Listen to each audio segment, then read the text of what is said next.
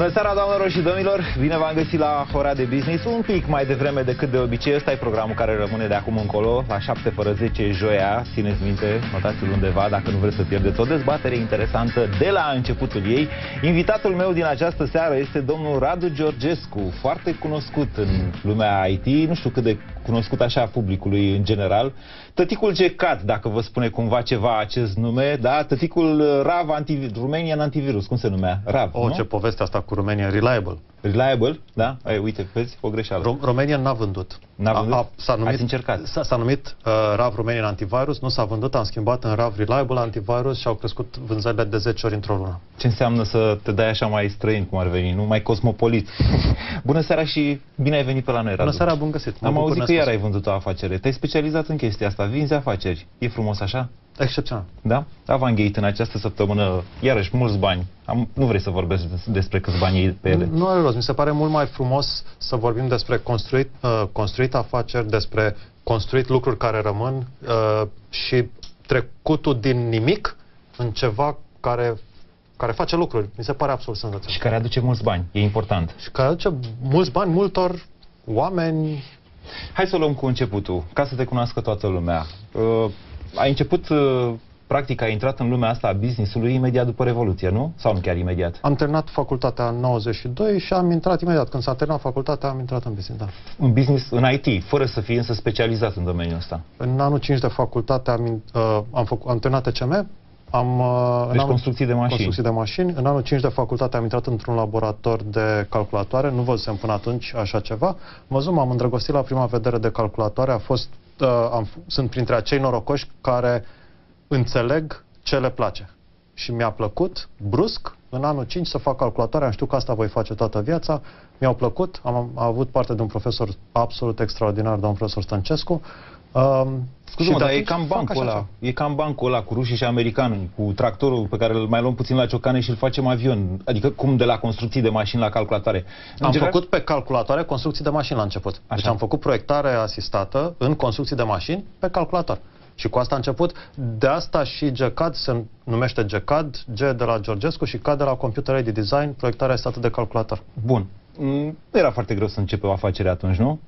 Dar ce azi e? Mm, uh, Era foarte greu în alt fel. Astăzi este foarte greu pentru că nu ai bani. Atunci era foarte greu pentru că habar n-avea nimeni să deschidă o afacere. Dar nu trebuiau bani prea mult. Nu trebuia bani, dar nu știa nimeni despre ce este vorba în cuvântul afacere. Și de ce te-ai gândit să deschizi o afacere și să nu devii un profesionist în domeniul respectiv? Pe, pentru că Am, în 92 încă erau fabrici de stat în România, adică buticarii ce mai făceau sectorul privat Absolut. Mi atunci. s-a întâmplat... Sunt un tip foarte norocos și mi se întâmplă lucruri. În anul 5 de facultate, domn profesor Stăncescu, am ajuns la uh, laborator de calculatoare al dânsului din facultate. Uh, mi-am făcut proiectul de stat pe calculator cu dânsul și după ce am terminat, domn profesor Stăncescu a vrut să-mi cumpere programul pe care l-am făcut. Și în momentul ăla am înțeles că să faci un program de calculatoare este o chestie absolut extraordinară din următorul punct de vedere. L-ai făcut, îl ai, îl vinzi și îți rămâne. Mhm. Îl mai vinzi odată și îți mai rămâne. Îl mai vinzi încă o dată și îți rămâne. Și care e diferența de o brutărie? Că și la brutărie la La- fel faci pâine, o vinzi, La știi să diferență, faci alta, nu? După aia. știi să faci alta, dar trebuie să cumperi piese. Așa. Faci o pâine, cumperi maia, făină Așa. și ce mai cumperi, da? Apă, muncești, ai vândut-o. Nu mai ai nimic. Mai cumperi o dată maia, făină, mai faci o pâine, o mai vinzi. La software, l-ai făcut o dată și gata.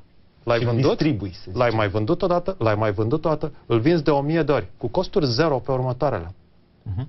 Deci, curba de creștere, dacă vrei să vorbim uh, în termen de business, curba de, de creștere și de profitabilitate potențială la un software este exponențială dacă reușești să vinzi. Ai o problemă cu distribuția. Dar dacă reușești să vinzi, poți să ai o curbă de creștere exponențială și o curbă de profitabilitate exponențială, ceea ce este minunat. Poți să crești atât de mult. Practic vinzi o idee. Asta e? Practic, vinzi de 100 de ori ceea ce ai construit odată. Bun. Ok.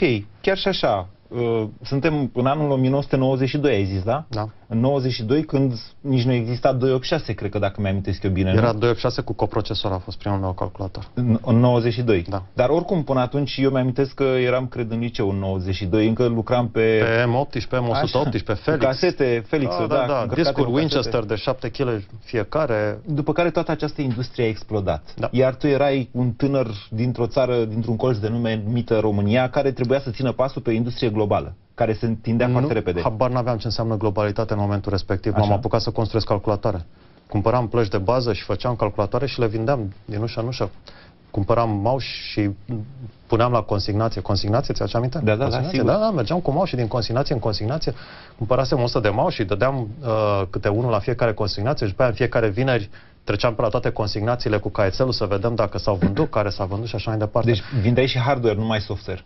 Trebuia să ne susținem cumva. Dar ai plecat hotărât pe partea asta, adică, domnule, trebuie neapărat să facem o afacere, nu să fim angajați undeva. Nu e mai ușor Na- așa? n- N-am avut o problemă în a fi angajat undeva, dar am știut că vreau să fac software. Bun, gata, am început, ne-am apucat, da? Am făcut GCAD-ul. Da. Singur?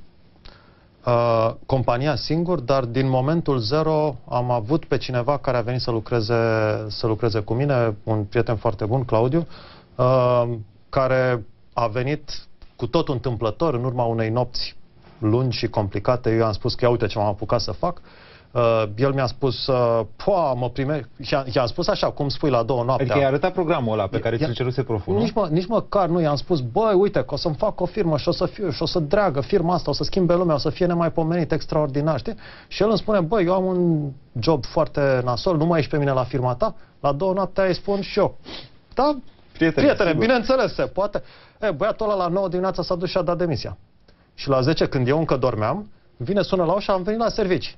A căzut fața cu totul și de atunci am grijă să, să am, a, a- am grijă să gândesc tot ce deschid gura.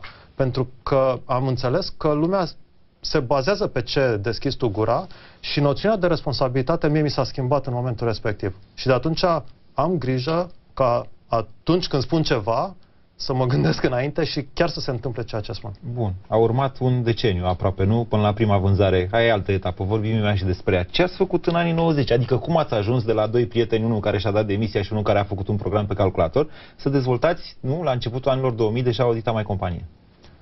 Uh, banalitățile de tipul multă muncă și așa mai departe. Da? Nu-s valabile, nu? Ba da, Sunt? ba da, foarte tare, foarte tare. Muncă foarte multă.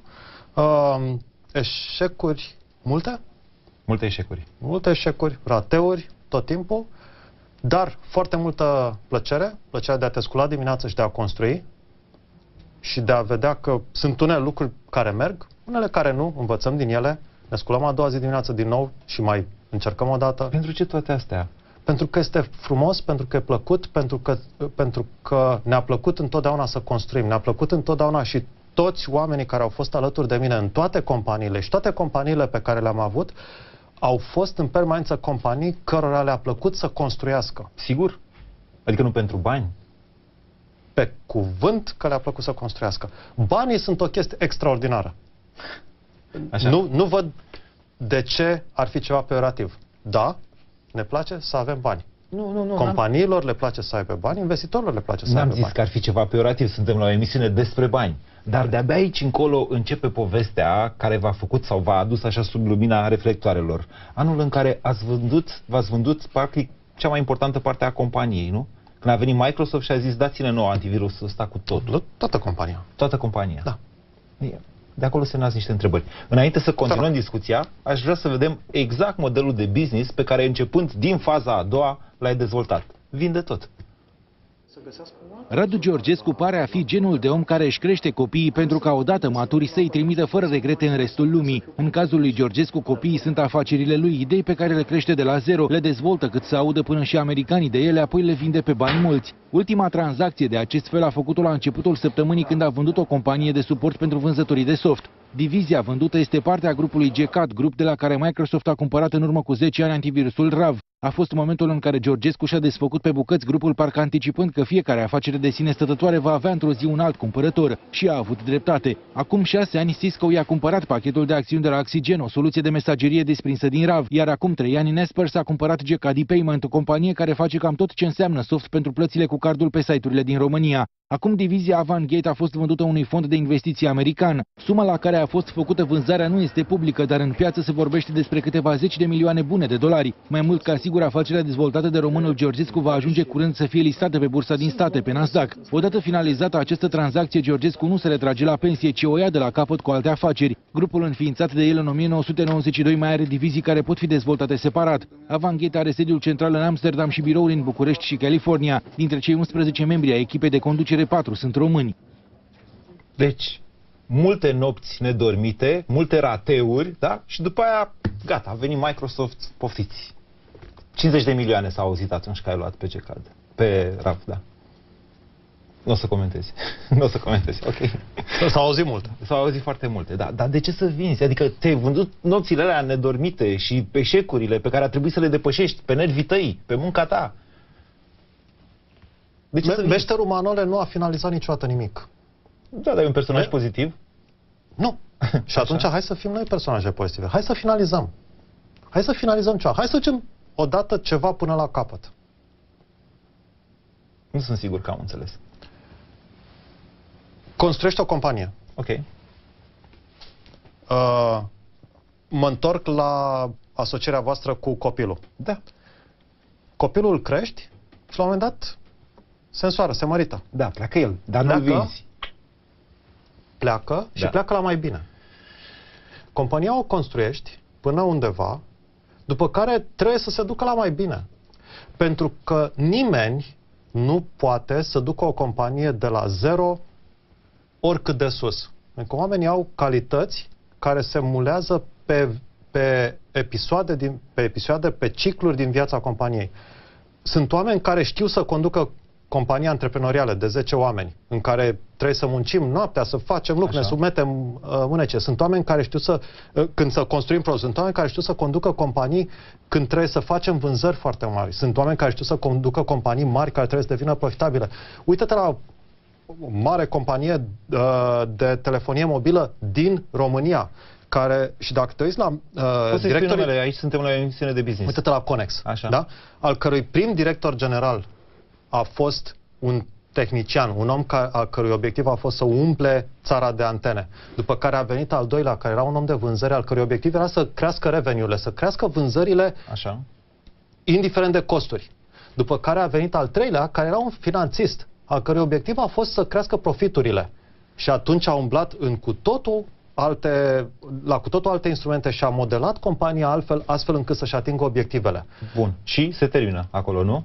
Și de acolo Mai ești un al patrulea? Și de acolo începe un alt ciclu. Care ești tu dintre ăștia? 1, 2, 3. Eu, eu nu sunt un manager, Așa. eu sunt un antreprenor și un investitor. Da? Eu știu să, să conduc și să mă ocup de companii în primele două cicluri.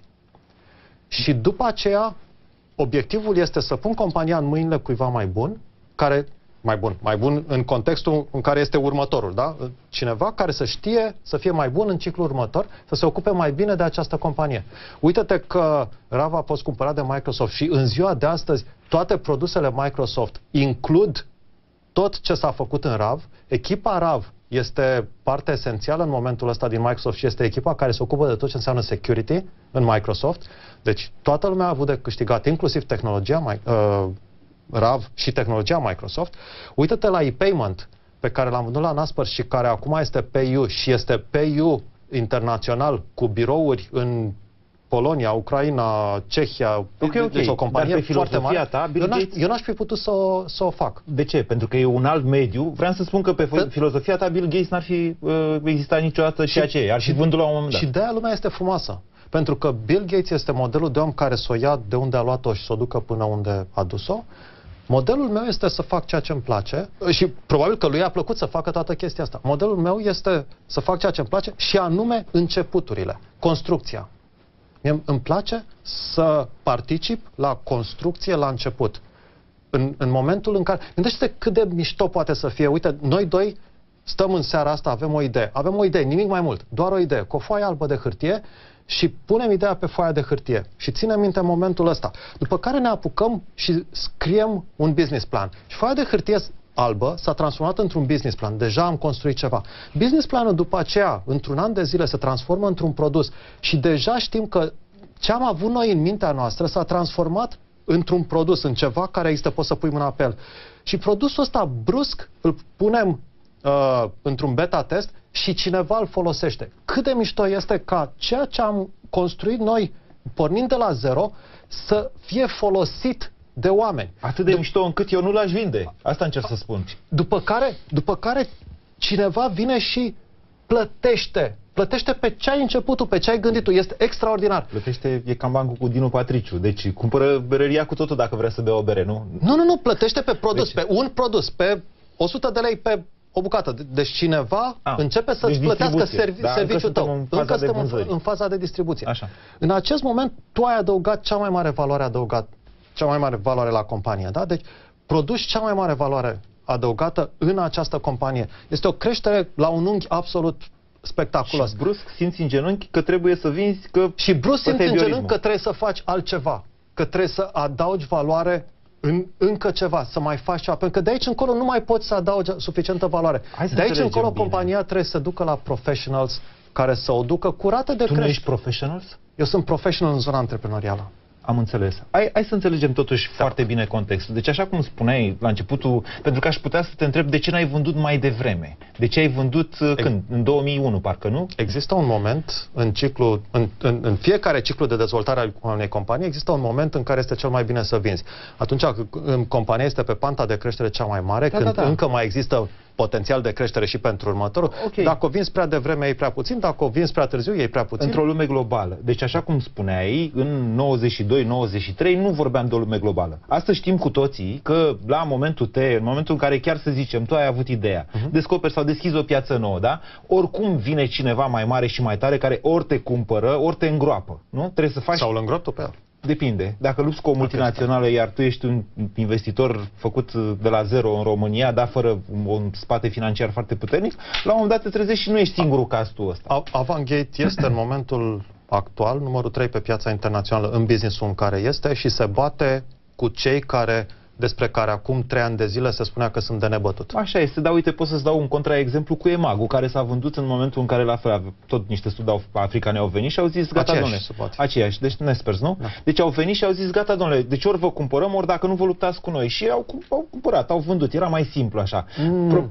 Cred că faci niște asumții aici, nu știu. Eu, eu nu știu, dar nu dar cred că de unde știu lucrurile astea, dar da.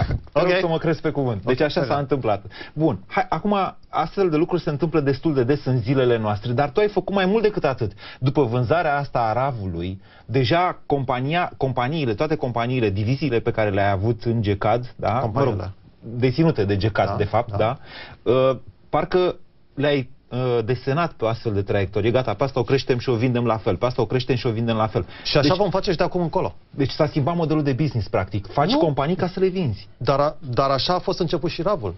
Și nu ți se pare firească întrebarea mea așa. dacă te interesează mai mult banii decât munca ta? Nu, mă interesează și, și nu ți se pare firesc răspunsul? Nu, mă interesează ca munca mea să fie la începutul companiei. Îmi place foarte mult, pentru asta mă scol dimineața, pentru a aduce acea valoare adăugată la care mă pricep și care îmi place. Să încep companii, iar banii sunt un bonus binevenit. Acum eu trebuie să spun o întrebare, s-ar putea da. să ți se pare rău, deci să te rog să mă scuzi din capul locului. La începutul anului a fost o criză în Cipru. S-a auzit atunci că ai fi printre milionarii care au bani în Cipru și care au cam rămas unii dintre ei fără bani. Nu cumva acum ai vândut Avangate pentru că nu mai aveai bani? Nu. Nu. Pur și simplu nu aveai bani în Cipru pur și simplu nu aveam bani în Cipru. Exact. Nu aveai bani în Cipru, ok. Atunci putem să trecem mai departe și uh, aș vrea să profit uh, de prezența ta la această emisiune pentru a ne adresa uh, unui larg segment din publicul nostru, oameni tineri, acest domeniu IT, el este, noi îl considerăm important în România. Important sau nu important în România? Hai să... Ar putea fi extraordinar de important. Dar nu e. Este doar important. Este doar important. Care, ce ar face diferența asta? Dacă am avea mai mulți manageri capabili, și dacă am avea m- mm, noțiunea de product management. Prima întrebare pe care și-o pune un tânăr care, să zicem, a terminat facultatea, nu TCM-ul neapărat, să zicem că este direct specializat în IT și nu se specializează ca tine după aceea, da? Okay. Uh, prima întrebare, ei au foarte mult spirit ăsta antreprenorial. Vor să o ia ei, să facă, să fie proprii lor șefi, da? Să nu... Uh, în același timp, viața este mult mai comodă dacă ești angajat, pentru că sunt specializați, salariile sunt categoric mult mai mari decât în alte domenii. Deci eu te întreb așa, și iau întrebarea că a venit, că eu chiar am făcut așa un brainstorming cu mhm. colegii mei mult mai tineri și am întrebat, hai, puneți niște întrebări pentru Faceți un manager, acum, așa, acum e moment. pentru un manager de succes să vedem cum răspunde la aceste întrebări. Deci dacă o iei de la început și ești bun și poți fi un salariat bine plătit și fără grija zilei de mâine, ce faci? Alegi varianta asta în care ești angajat sau te apuci, e mai bine să te apuci și să ai pe cap grijile salariilor, să fii antreprenor, să ai business-ul tău? Sunt două tipuri de oameni și sunt oameni diferiți, depinde în ce categorie intri tu și fiecare este diferit. Sunt oameni pen, uh, pentru care uh, securitatea zilei de mâine este mai importantă, sunt oameni care acceptă riscul și își doresc un raport risk-reward uh, mult mai către mult risc, mult reward. Dacă ești din al, din al doilea model, atunci îți faci o firmă, o ratezi, îți mai faci una, o ratezi, o mai faci una, ai succes. Așa. Dar da, așa se întâmplă. Dacă ești... De regulă, deci, ok, ești dependent de adrenalină, să înțeleg, așa cum l-ai definit tu, cam asta a rezultat. Dar de cele mai multe ori, după primul eșec, te gândești, cu ce îmi plătesc rata la bancă? Mai bine mă angajez. Nu mai încerc încă o dată. Marea șmecherie este să nu faci rate la bancă bazat pe viitorul succes. Pentru că în acest context, viitorul succes este cu semnul, sub semnul întrebării. Și atunci ce faci este să îți organizezi viața foarte bine și anume, împreună cu soția, de exemplu, soția lucrează și are grijă de familie și tu poți să-ți permiți să îți asumi riscul ca un an, doi, trei, să, să ratezi. Să mai copilărești așa, nu? Să te joci de investitorul. E o copilăreală sau nu? Uite, pentru că vorbeam de chestia asta. În anii 90 era foarte greu să găsești finanțare. Pe tine cine te-a finanțat? Sau cum ai plecat? În anii 90 nu aveai nevoie de finanțare. Și eu am plecat cu mau și dați la în consignație. Și mau și aia îi plăteai undeva, nu trebuia să aduci de după undeva. ce îi luam. Deci pur și simplu Credit ca distribuitor. Ca distribuitor de hardware da, din ușă da, în ușă. Da, da, fix așa. Bun, deci fără un capital inițial. Dar în ziua de astăzi, de exemplu, cam câți bani ar trebui ca tânăr, să zic, antreprenorial, uh, antreprenoriat, uh, antreprenor, scuze, în IT? Eu nu cred că îți trebuie bani. Nici deloc? în ziua de astăzi. Deloc. Nici 10.000 de euro acolo, ceva? Pentru că dacă ești programator, faci așa, te duci dimineața la facultate, pentru că facultatea e importantă. Te duci după masă la job ca să-ți plătești ce ai de pro, uh, plătit, iar noaptea programezi pentru tine. Și când mai dormi? Poftim? Era o întrebare, când mai dormi? De ce să... Adică, de ce să dormi? De ce să pierzi vremea? Antreprenatul nu este despre vreau să fiu propriul meu stăpân pentru că vreau să dorm când vreau. Antreprenatul este despre să muncești foarte mult. Mult mai mult decât dacă ești angajat. Bun, acum Uh, care e metoda optimă uh, de a găsi capitalul pentru o nouă afacere? Am înțeles că tu vrei să o iei de la capăt. Da. În momentul de față nu-ți mai trebuie să înțeleg capital. Adică... Întotdeauna sunt fericit să, să am parteneri. Cauți finanțare? Întotdeauna. Întotdeauna discut cu investitori. Nu este zi în care să nu discut cu investitori. Networking-ul cu investitori ajută atât pentru găsitul de, de finanțare și pentru share dacă îmi permiți, riscului, Așa. care este important, dar mai ales cât la crearea de la momentul zero a potențialului exit.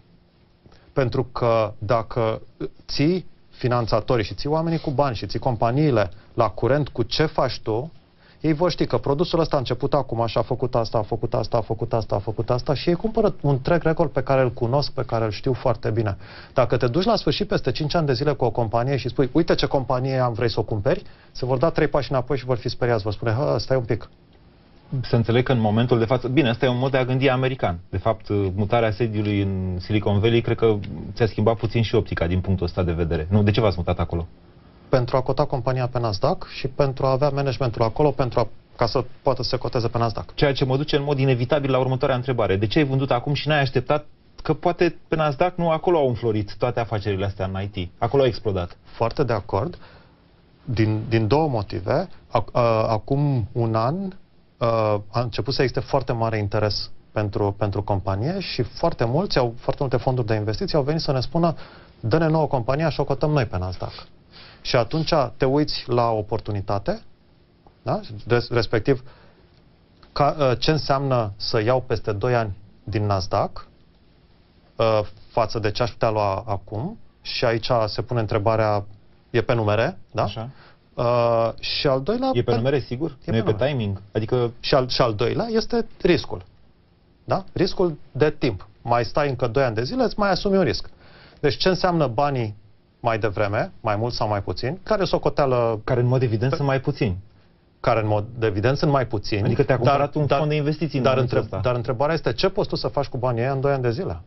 Asta e. Deci mi se Și eu- pare că te grăbești undeva, Radu. Și- Și eu îți promit că pot să fac mai multe cu banii în 2 ani de zile, în primele perioade ale, ale companiilor, decât în această perioadă a companiei. Bun, aici o să-ți adresez o întrebare care a venit de la graficianul nostru, băiatul care ne face chestiile astea mișto și că mie mi s-a părut genială. Zice, ok, ți-a venit o idee genială, da? Da. Și ai pus-o, ai făcut-o, s-a numit gecat, s-a numit cum vrei tu. Cum ți-a venit a doua idee genială? Adică, de cele mai multe ori, greu găsești într-o viață de om două idei geniale una după alta. Tu în momentul ăsta apar să te grăbești undeva. Dar nu ideea este cel mai important. Nu, e, nu ideea este genială. Google nu a fost primul Motor, motor de, de căut- căutare. YouTube nu a fost primul video streaming. Uh, Facebook nu a fost prima rețea de socializare. Nu ideea este cea mai importantă, cât execuția. Mhm. Deci, nu ideea este genială. Nu mă interesează idei geniale. Acum, ca investitor, nu mă interesează idei geniale. Mă interesează oameni care pot să execute. N-ai răspuns la întrebarea care oricum e cerută, practic, după răspunsul ăsta. Unde te grăbești? Către ce te grăbești? Nu mă grăbesc. Păi ai vândut, Dar- ai vândut știind, conștient fiind de faptul că un fond de investiții care a venit și te-a cumpărat se va duce pe Nasdaq și va umfla acolo compania, după care va face un exit. Dar Ăsta e trebuie să modelul lor. câștige și el. Trebuie, da, depinde. S-ar putea să câștige de trei ori mai mult decât ai câștigat tu. Extraordinar. E foarte bine. Sunt foarte fericit. Eu chiar nu sunt modelul la care trebuie să câștig eu tot. Eu câștig de aici până aici cât mi-am planificat. De aici încolo să câștige este nemaipomenit. Voi fi fo- cu cât ei câștigă mai mult, cu atât sunt mai fericit. Pentru că ei au câștigat cumpărând ceva foarte bun de la mine. Data viitoare, când voi avea ceva de vânzare, vor veni și vor spune, da, mai vrem o dată. E ușor contradictoriu ce am vorbit până acum. Adică, pe de o parte, ești managerul, deci, ok, ai apelat la oameni care știu să facă IT și așa mai departe, tu i-ai administrat în fazele 1 și 2, dar în același timp, în momentul T, da, zici, e ok să mai câștigi și alții, și de trei ori mai mult decât mine, eu acum vând și plec și mă apuc, tot te întreb, dar văd că nu vrei să-mi răspunzi de ce te apuci și mai departe. De altceva. De altceva, nu De- știi de ce? de, alt, de alte companii, tot din zona IT, e-commerce, software as a service, big data, putem intra în foarte multe amănunte care sunt cuvintele hot, care sunt buzzword-urile zilei de astăzi și așa mai departe. Uh, da, ne apucăm de altceva, ne apucăm de mai multe, cum ne-am apucat de fiecare dată, pentru a putea să ne permitem să ratăm câteva și să mai avem încă un succes, să putem să ne întâlnim la aceeași masă peste 5 ani de zile, să mai facem o dată ai un poveste. plan concret în momentul ăsta? Adică știi concret ce vei face sau pur și simplu ai făcut exitul și ai zis gata, m-am plictisit, acum vreau să fac altceva. Deci, noi mai avem companii Da, în grup așa acum este, de da. care trebuie să ne ocupăm. Deci, vânzarea Avangate este business as usual. Nu este, mamă, gata, acum mergem la mare și ne bronzăm. Este business as usual. Deci, ok, s-a închis un ciclu cu Avangate, urmează celelalte companii. Și există, mai există companii în grup de care ne ocupăm să crească, să le vindem și așa mai departe. Și există companii pe care le începem și în care investim, startup-uri. Mhm. Noi am intrat, uh, am intrat deja în bordul unor companii pentru a pregăti preluări și așa mai departe. Deci e Ce e mai important să faci? Produse care să vând sau produse la care îți place să lucrezi? Te întreb acum ca și profesionist în domeniul ăsta, nu neapărat ca om de afaceri. Hai să ne întoarcem la Radu Georgescu, cel de acum 20 de ani, aproape, da, 20 de ani. Acum 20 de ani era foarte important să câștig bani.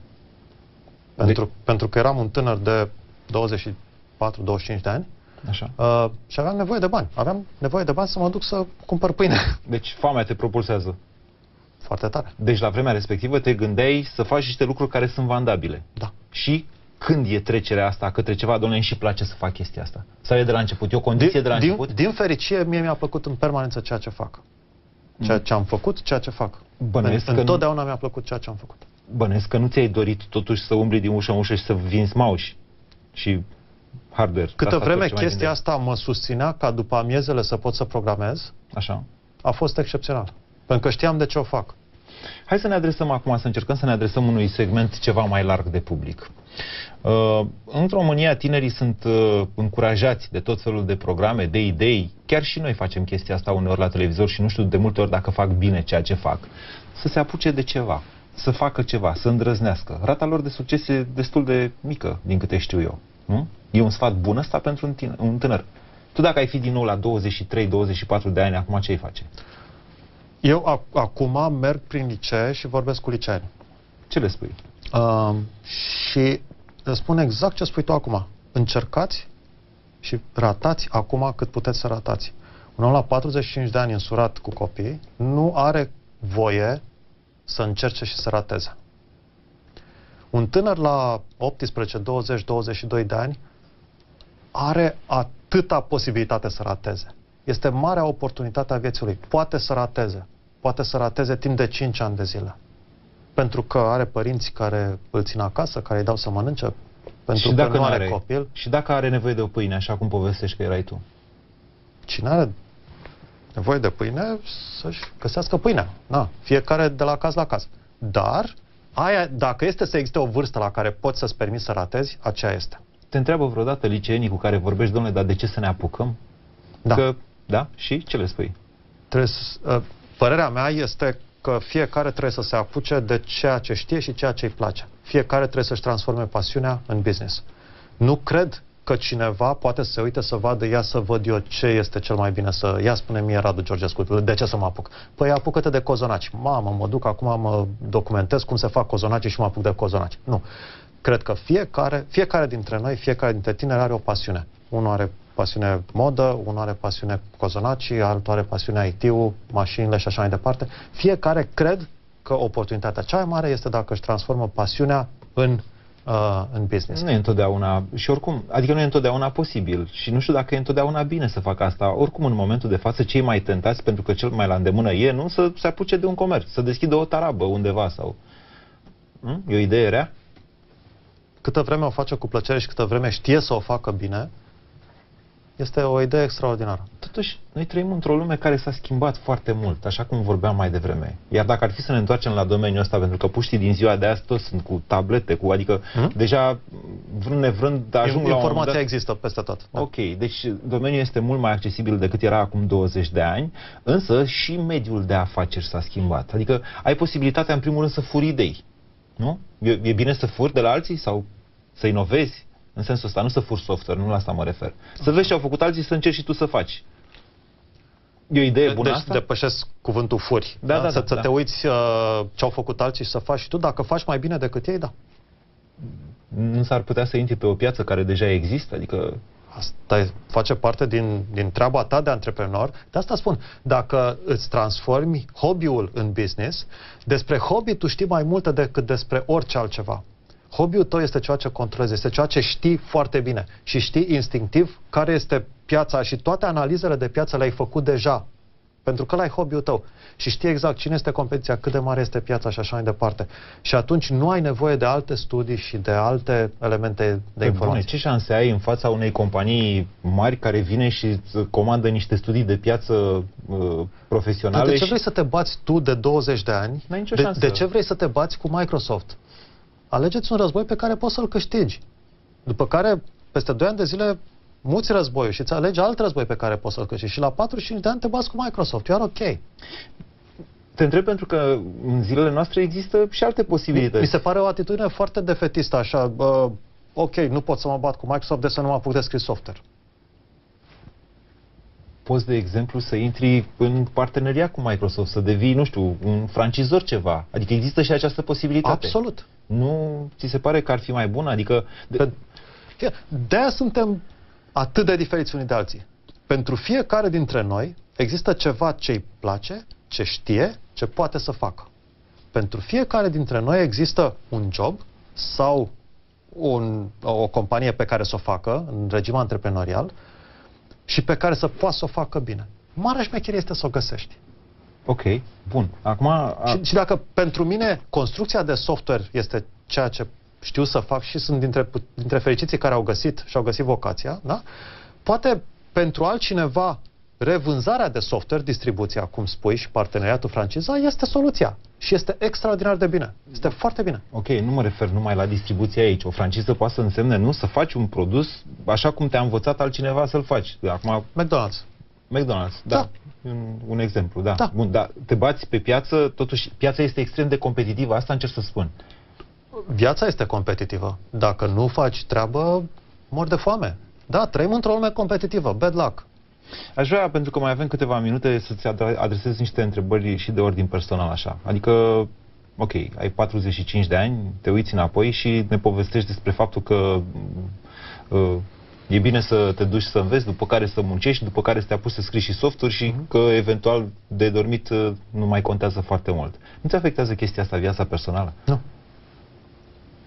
Poți să intri Mie. în detalii? Mie. Da, da. Nu. Nu. nu, așa în general, adică mai și trăiești pe undeva? Tinerii se întreabă și Foarte, asta. foarte, foarte mult și foarte bine. Da. La calculator.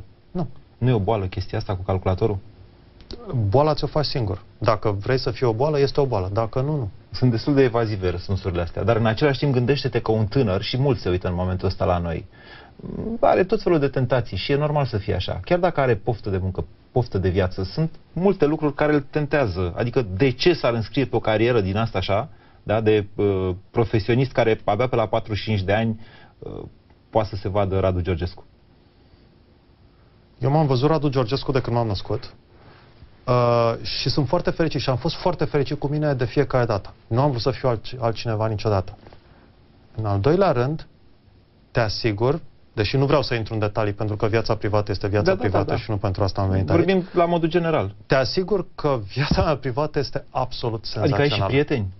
Bei și o bere cu ei? Mai ai timp și de așa ceva? Am atâția prieteni câți are orice Nu om. pe Facebook, domnule. Nu pe Facebook. Nu ad friend. Am, am atâția prieteni cât are, cât are orice om normal, da? Nu beau, deci nu mergem la bere, dar mergem la ceai, Așa. da? Am o familie absolut extraordinară uh, și balanța mea între profesional, familie și sănătate, care sunt cele trei elemente care definesc un om, care mă definesc pe mine, este o balanță foarte bună. Hai să vorbim puțin despre administrarea afacerii. Asta e o chestie pe care nu toată lumea o, o înțelege. Te naști cu chestia asta sau e ceva care se învață? Poți să fii om de, af- om de afaceri din naștere? Ai nevoie de niște calități deosebite sau e un meșteșug care se învață? Cred că se învață. Cât de greu? Cât de mult îți ia? Sunt, nu știu să răspund la întrebarea asta, uh, dar sunt, uh, sunt facultăți care asta fac, Uh-huh. nu neapărat în România, Sunt și în România. nu neapărat în România. Um, sunt, sunt facultăți care o fac mai bine și facultăți care o fac mai prost. Uh, din păcate, nu cred că facultățile din România fac suficient de bine lucrul ăsta. În schimb, Și, și ne întoarcem la ce am spus la un moment dat, că IT-ul are nevoie de manageri mai buni. de unde? De unde o să-i luăm? Mai ales în condițiile în care aș vrea să vorbim puțin și despre piața românească, despre, despre economia românească. Okay. Evoluezi în economia românească? Da. da, pentru că produsele tale cele mai multe se adresează, nu cele mai multe, Nu, put, cele mai, cele mai puține. puține au rămas acum, da, se adresează pieței românești. Da? Puține dintre ele se adresează pieței românești, dar da, evoluez în piața românească inevitabil. Cum ai vrea tu să meargă economia? Sau cum o vezi că merge în momentul de față? O să evit să spun întrebarea clasică în ce direcție credeți că se îndreaptă România. Cred că România are nevoie de mai mulți manageri și anume mai buni. Nu, scuză, nu mai mulți, mai buni. De, de mai buni. Da. Și care e soluția pe care o vezi? Să-i trimitem, așa cum ai spus, la universitățile de afară și să-i așteptăm să se întoarcă, se mai întorc, nu se mai întorc? Ba da, ei se întorc, dar se întorc cu un knowledge care nu poate fi aplicat aici. Pentru că nu poți să schimbi dintr-un puzzle, nu poți să schimbi o singură piesă și după aceea să se mai potrivească acolo. N-am înțeles E- foarte clar. Deci, Uh, Un, cred că un manager pe care îl scoți din România, îl trimiți la o școală afară, el vine cu un knowledge din școala asta și vii să-l aduci și să-l pui în sistemul așa, acesta, nu are cum să funcționeze. spui că suntem Ce- foarte diferiți. Ce, piața tre- noastră e ce, trebuie diferită. să, ce trebuie să schimbăm, după părerea mea, este sistemul de învățământ. Trebuie să avem un sistem de învățământ care să învețe lucruri mai apropiate de realitate. Cum l-ai face tu, de exemplu? Nu. Pentru că tot ai spus că te întâlnești cu liceeni. Adică cum ți se pare nivelul lor? Și... E, asta, e o, asta e o mare întrebare. De fapt, da. e o temă importantă de dezbatere pe care noi, ca societate, nu știu dacă o avem, dar ar trebui în mod clar să o avem. Da, deci uh, nu mă pricep la chestia asta și ia răspunsurile mele ca da. doar așa, la, la feeling, educated guess, da? Uh, m-aș duce ca șef de unitate de învățământ, m-aș duce la o unitate corespondentă foarte mare, la cea mai mare, și ca... Uh, din afara țării. Din afara țării. La cea mai mare internațional. Cea mai mare. Cotată, i-a luat pe listă care este numărul 1. Da? Mă și a spune, uite, eu sunt de la facultatea asta din România, din București, și vreau să am un parteneriat cu tine. Vreau să îmi trimit toți profesorii aici la tine să văd cum se face treaba la tine, să văd de ce rezultatele tale sunt atât de bune și vreau să înțeleg care sunt criteriile de performanță pe care le aplici. Rezultatele tale sunt bune în mod evident pentru că ești cea mai mare uh, cea mai bună facultate cotată, vreau să înțeleg care sunt criteriile de performanță pe care le aplici, ca să pot să le aplic și eu. Vreau să înțeleg cum anume îți construiești tu programa și așa mai departe, ca să fac și eu lucrul ăsta și să vin să aplic un astfel de sistem de învățământ. Ai tendința să te duci spre partea cu facultățile. Întrebarea mea era dacă nu cumva noi avem o problemă la, cu... La fel și cu liceele, dar eu nu cred că avem o problemă cu liceele. N-avem? Cred că copiii din liceele noastre sunt mai bine educați decât copiii din liceele americane, de exemplu. Din punct de vedere al cunoștințelor generale? Din punct de vedere al cunoștințelor academice, nu generale, din, din punct de vedere academics. Uh-huh. Matematică, programare, fizică, geografie, academics, da? Da, ok. Da? Deci noi suntem, ne plângem de chestia asta, pentru că, nu știu, poate fac prea multă matematică sau prea multă fizică, poate, nu știu, Poate nu mai au timp de altceva în sensul ăsta. Poate nu au timp de o educație a muncii. Ți se pare că modul în care ei văd viața în momentul de față este cel corect? Ce te-au întrebat? Nu te-au întrebat cumva cum ai făcut uh, eu, primul eu, milion sau ceva nu, de genul ăsta? Nu. Nu erau eu, eu, eu cred că nu în liceu se strică copiii, cred că în facultate se strică. De ce? De ce se întâmplă asta? De ce crezi că se întâmplă asta? Asta este ceea ce văd eu. Nu, nu știu să răspund. Din nou, nu sunt, nu, nu mi-am propus niciodată. Contează tentația banilor, modelele din țara noastră, ce văd la Intrăm în prea multe amănunte și deja nu mai, nu, nu mai știu să răspund, îmi pare rău. Nu, okay. nu, sunt, nu sunt, chiar nu sunt din domeniul ăsta. Mai am totuși câteva întrebări te pentru tine, mai avem și câteva minute de altfel. Aș vrea să te întreb despre leadership. Tu ești un lider, nu-i așa? Uh, despre un lider trebuie să spună altcineva că este un lider, nu trebuie să spună el că Te este vezi ca pe, un administra- ca pe un administrator sau ca pe un om capabil să-i conducă pe alții?